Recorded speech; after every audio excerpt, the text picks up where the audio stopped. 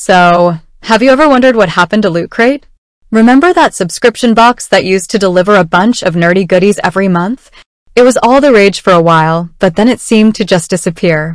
Let's dive into the mystery and find out if Loot Crate truly went out of business, or if it just took a different path. Asterisk.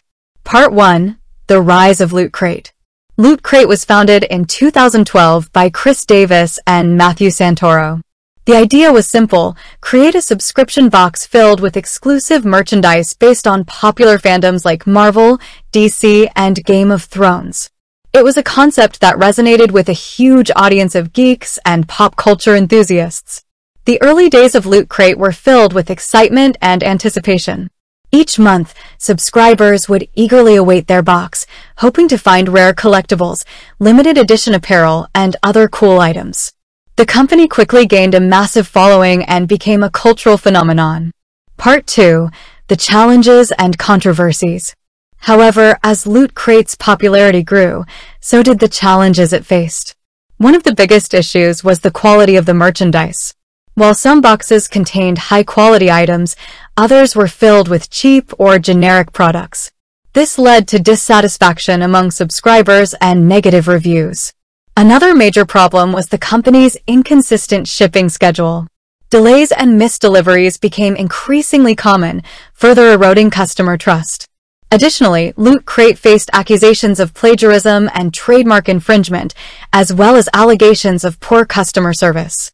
Part 3. The Decline and Restructuring The combination of these factors led to a significant decline in Loot Crate's subscriber base.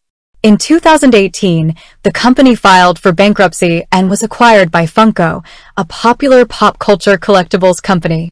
Under Funko's ownership, Loot Crate underwent a major restructuring. The company focused on improving the quality of its merchandise, streamlining its shipping process, and enhancing its customer service.